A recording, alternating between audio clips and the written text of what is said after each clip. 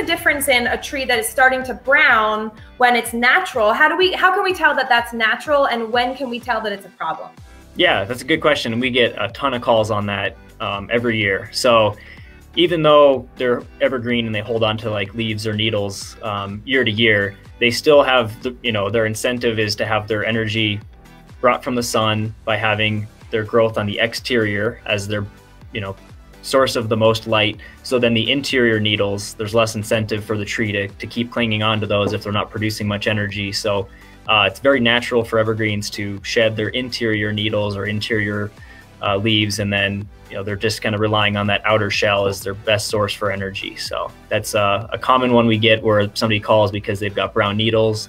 Um, you know, we go out there and identify that it's just the interior that's browning, and it's usually like a their oldest one year's worth of growth from four or five years ago that's dropping and everything else from that point forward is still really healthy so if you have browning on the tips browning on the tops where it's like the you know the end of the branch is brown or the, the very top of it is brown that could be more of a concern and more of a red flag for sure.